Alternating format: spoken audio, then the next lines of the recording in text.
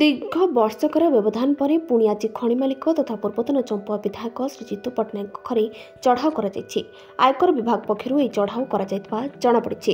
ଗତବର୍ଷ ମେ ମାସରେ ପ୍ରବର୍ତ୍ତନ ନିର୍ଦ୍ଦେଶାଳୟ ପକ୍ଷରୁ ଜିତୁ ପଟ୍ଟନାୟକଙ୍କ ଭୁବନେଶ୍ୱର ଓ ଯୋଡ଼ାସ୍ଥିତ ବିଭିନ୍ନ ସ୍ଥାନରେ ଚଢ଼ାଉ କରାଯାଇଥିଲା। ଆଜି ପୁଣି ଆୟକର ବିଭାଗ ପକ୍ଷରୁ ଶ୍ରୀ ପଟ୍ଟନାୟକଙ୍କ ଯୋଡ଼ା ସାଇ ମନ୍ଦିର ପାଖରେ ଥିବା ବାସଭବନ ଓ ବନେଇକଳା ଛକରେ ଥିବା ଖଣି ଅଫିସରେ ରେଡ୍ ଚାଲୁଥିବା ସୂଚନା ମିଳିଛି।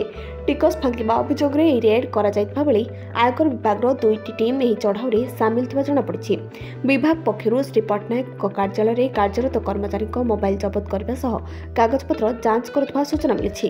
ଅନ୍ୟପକ୍ଷରେ ବ୍ୟବସାୟ ସମ୍ବନ୍ଧିତ ନେଣଦେଣକୁ ନେଇ ଯୋଡ଼ା ସହରରେ ଥିବା Jitu Pattanaik contractor BS mining କାର୍ଯ୍ୟାଳୟରେ ଥିବା ମଧ୍ୟ ଆୟକର ବିଭାଗ ପକ୍ଷରୁ ଚଢ଼ାଉ ଜାରି ରହିଥିବା ବେଳେ ଆୟକର ବିଭାଗ ବା ଶ୍ରୀ ପଟ୍ଟନାୟକଙ୍କ ପକ୍ଷରୁ କୌଣସି ପ୍ରତିକ୍ରିୟା ମିଳିପାରିନାହିଁ ଏହିପରି ଗଣମାଧ୍ୟମକୁ ମଧ୍ୟ ପ୍ରବେଶ ପାଇଁ ଅନୁମତି ମିଳିନାହିଁ।